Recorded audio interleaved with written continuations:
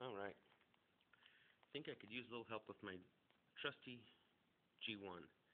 Seems to have some sort of, uh, I don't know, problem of some sort. Not sure what it is.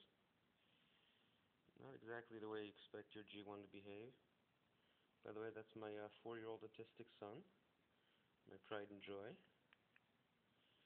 Let's see. Yeah, this is where the problem starts. Some sort of virus, I think. It's corrupted my T-Mobile phone.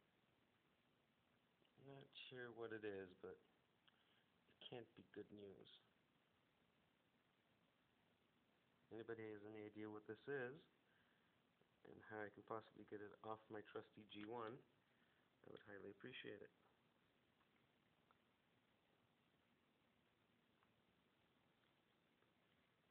Uh, some sort of bug or virus or manifestation of some sort.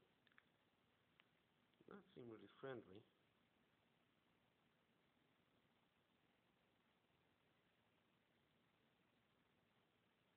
Anybody has a clue what that is? How to remove it?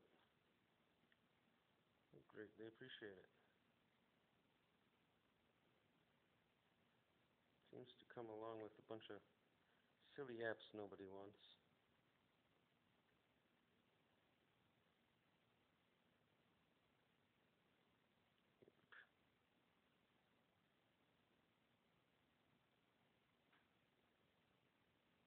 What in the heck is car home and who would want it?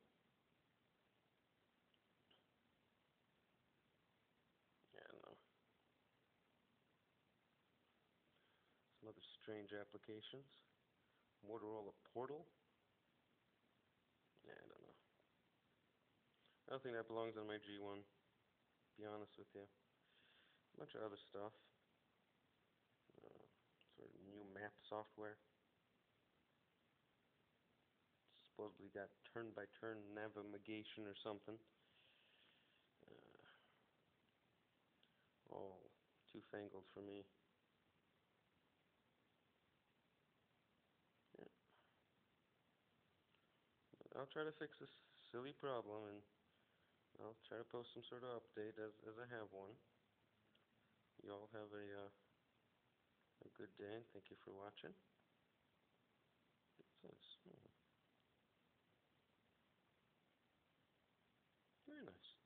Bye.